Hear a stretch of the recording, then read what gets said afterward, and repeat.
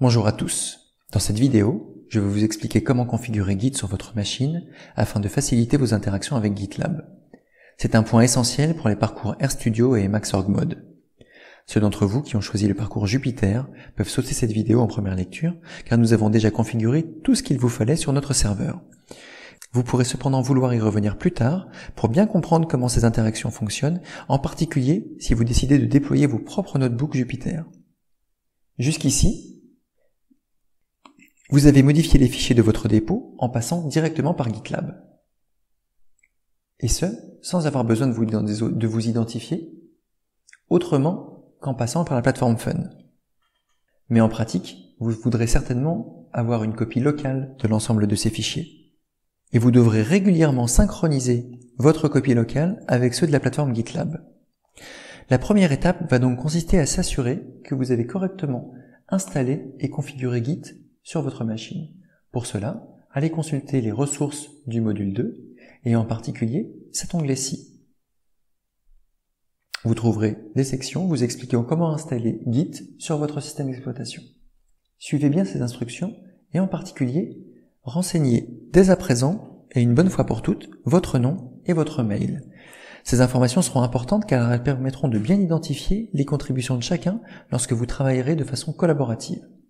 Je vais donc copier-coller ces commandes-ci dans un terminal pour indiquer mon nom et mon mail. Vous trouverez également dans cette section des informations un peu plus techniques dans le cas où vous rencontrez certaines difficultés, en particulier la gestion des proxys. Deuxième étape, cloner son dépôt.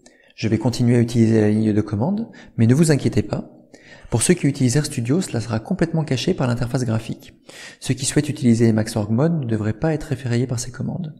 Et comme nous l'expliquons dans les ressources sur Emacs Mode, vous pouvez vouloir utiliser Magit ou toute autre interface graphique qui vous satisfait. Nous allons donc commencer par récupérer une copie locale des fichiers de notre dépôt. C'est ce que l'on appelle un clone. Je vais donc aller sur GitLab et récupérer cette URL ici qui identifie notre dépôt.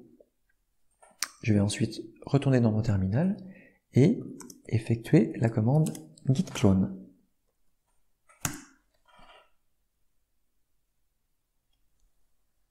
Ça y est, j'ai récupéré l'ensemble des fichiers. Si j'utilise un navigateur de fichiers, je verrai qu'il y a maintenant un, répertoire MOOC-RR qui contient l'ensemble des fichiers qui étaient disponibles dans mon dépôt.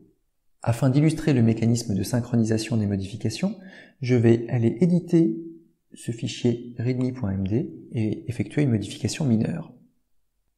Je me déplace sur la dernière ligne et j'écris une phrase sans grande importance. Je sauvegarde et je retourne dans mon terminal je vais demander à Git quels sont les fichiers qui ont été modifiés.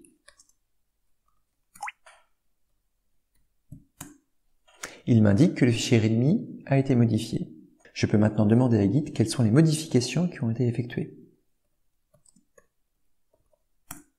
Il m'indique qu'une ligne vide a été rajoutée et qu'une ligne comportant le texte « Ceci est un test » a été rajoutée. Je vais donc committer cette modification en local en indiquant à Git que je souhaite qu'il s'intéresse aux modifications du fichier readme.md et je vais euh, finaliser mon, mon commit avec un message sans grande importance ici.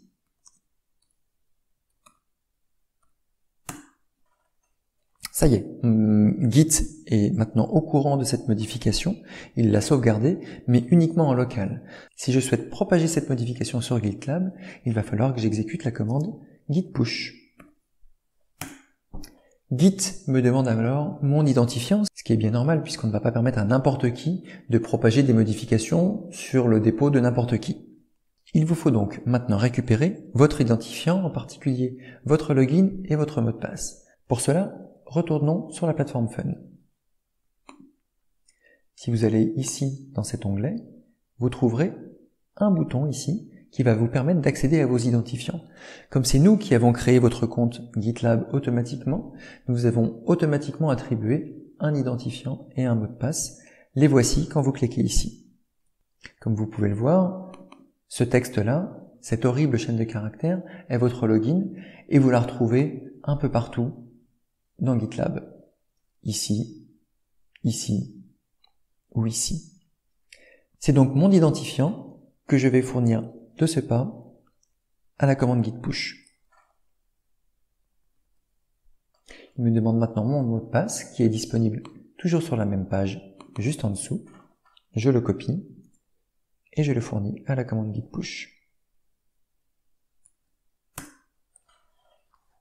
Ça y est, mes modifications ont été propagées sur GitLab. Si je retourne sur GitLab et que je recharge la page, mon commit va apparaître d'un instant à l'autre. Et le voici. Bien, ces allers-retours à chaque fois que l'on souhaite propager des modifications pour rentrer son login et, son mot de passe deviennent vite extrêmement pénibles. C'est pourquoi il va être utile, pratique, de demander à Git de mémoriser votre mot de passe, au moins pour un temps relativement temporaire. Pour cela, si vous allez ici, dans cette section-là, vous verrez que vous trouverez des informations expliquant comment indiquer à Git de mémoriser votre mot de passe. C'est ce que je vais donc vous démontrer ici. Je vais récupérer cette partie-là. Cette commande-là va autoriser Git à mémoriser en mémoire pour une heure votre login et votre mot de passe. Il ne sera pas stocké en clair sur votre disque dur, ce qui d'un point de vue sécurité est plutôt une bonne chose. Si je retourne dans mon terminal et que j'effectue la commande git push, à chaque fois, afin de vérifier que tout est correct, git me demande mon identifiant et mon mot de passe. Si je copie-colle la commande ici, je vais réeffectuer la commande git push. Git va me redemander une dernière fois, ou du moins pour une heure, mon identifiant et mon mot de passe. Je lui fournis tout de suite. Mon mot de passe maintenant.